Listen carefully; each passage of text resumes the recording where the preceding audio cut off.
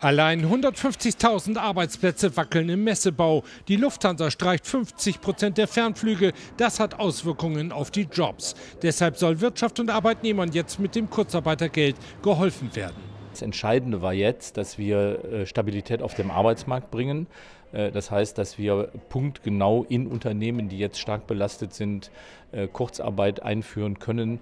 Die Unternehmen sollen leichter Kurzarbeitergeld beantragen können. 60 Prozent des Lohnausfalls wird dann von der Bundesagentur abgedeckt. Und auch 100 Prozent der Sozialbeiträge. Entlassungen sollen vermieden werden, damit, wenn die Wirtschaft wieder anspringt, gleich losgelegt werden kann. Zusätzlich werden 140 Milliarden Euro für die nächsten zehn Jahre bereitgestellt. Profitieren sollen besonders betroffene Branchen. Wir dürfen nicht zulassen, dass dieses äh, Virus das ähm, für die Menschen so gefährlich ist, am Ende auch die Weltwirtschaft infiziert und krank macht.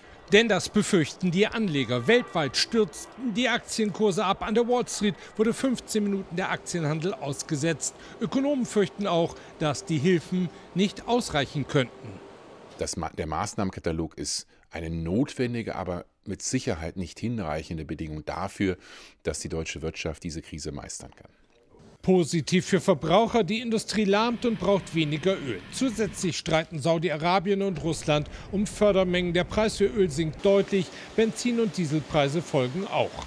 In Berlin kostet Diesel 1,11 Euro. Das dürfte noch lange nicht das Ende der Fahnenstange sein.